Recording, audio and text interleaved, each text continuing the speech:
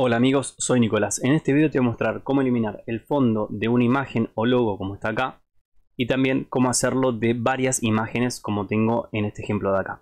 Lo bueno es que vamos a ver dos herramientas distintas que sirven para cosas diferentes. Y además te voy a mostrar cómo hacer para que todos estos logos distintos queden en capas o mejor dicho en archivos diferentes con un solo clic. Así que vamos a la acción.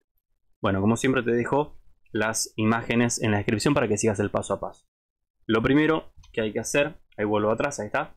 Lo primero que hay que hacer es la capa que tenés activa como fondo, acá, haces un clic en el candadito este y se desactiva y se convierte a una capa vacía.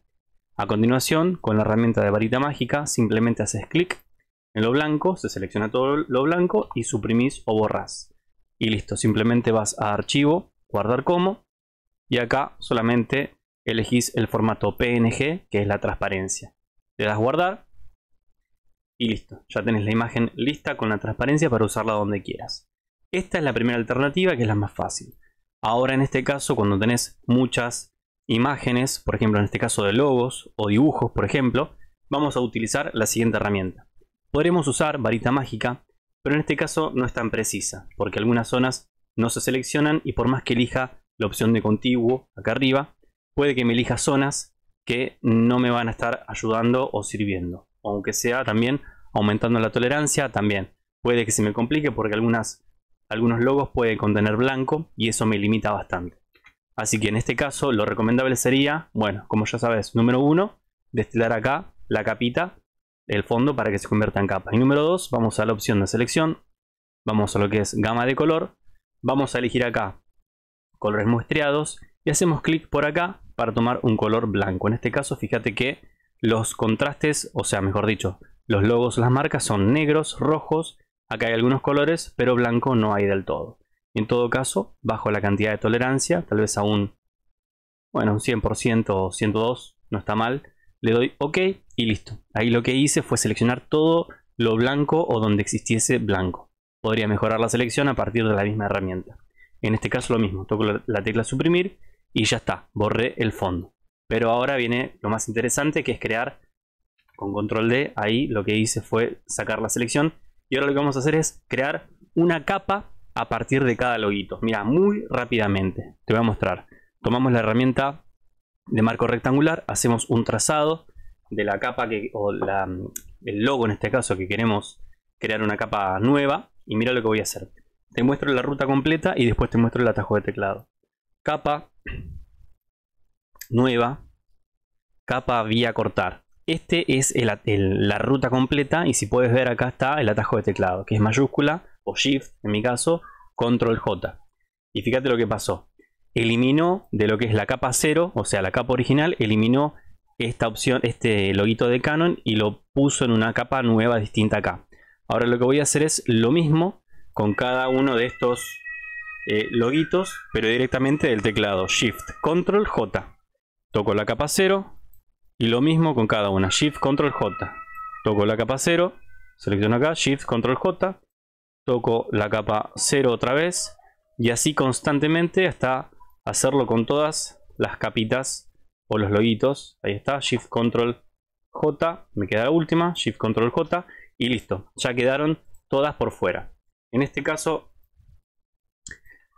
en este caso voy a hacer lo mismo con esta última por las dudas porque me parece que me quedó algún píxel de alguna por ahí dando vueltas. Shift Control J y quedó. Y en este capa 0 no me va a servir, la voy a eliminar.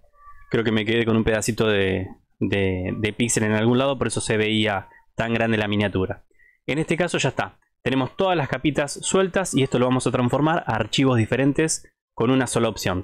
Si querés, una alternativa es ponerle a cada capa el nombre de, de la marca en este caso de, la empresa podría ser, para que después te sea más fácil reconocerlo, ¿sí? Así que lo que vamos a hacer ahora es ir a archivo, vamos a ir a exportar, vamos a ir a capas, a archivos, y justamente vamos a hacer eso. Vamos a marcar el destino, el prefijo, o sea, cómo se va a llamar cada archivo anteriormente. Podemos decirle que esto, que nos exporte solo las capas visibles, en el caso de que fuese el caso. Recomendable incluir el perfil de color para que no tengas ningún problema con esto.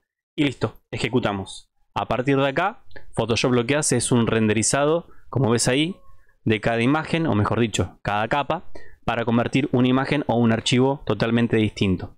Lo bueno de esto es que puedes descargar muchas eh, imágenes o en una misma composición y utilizar los mismos comandos y la misma idea para poder crear, no solamente en este caso, como hice yo, muchas, eh, muchos archivos de cada marca, sino también para cualquier otra alternativa en el que cada capa la quieras convertir en un archivo totalmente diferente. En este caso, PNG. Podría haber sido tal vez otra alternativa a las que están dispuestas acá en Photoshop. Esperamos unos segundos y ahí termina el renderizado. Bien, muy bien. Segundos después nos tira este cartel de acá que ya eh, el exportado está realizado con, esto, eh, con éxito. Listo, minimizamos acá entonces. A ver ahí. Y específicamente y exactamente acá tenemos todos los archivitos listos. Tenemos todo lo que separamos con ese comando y además tenemos el de Batman con su Bataran que podría ser eso. Y listo, ya esto lo podríamos directamente utilizar acá en Photoshop en archivos nuevos para poder utilizarlo donde nosotros queramos. Acá se puede comprobar, nos pregunta por el perfil de color y acá está justamente, fíjate que recortó donde, o sea, donde no existían píxeles, recortó automáticamente Photoshop. Por eso cuando nosotros hicimos el recorte eh, de cada capita, era importante hacerlo eh, de una forma tal que solamente se vea esa parte del logo, ¿bien? Y listo, de esta forma ya tenés para poder utilizar el recorte de cada logo de cada marca donde quieras.